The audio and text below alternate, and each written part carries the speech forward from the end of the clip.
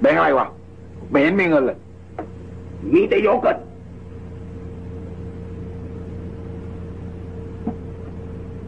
ยังไงอะ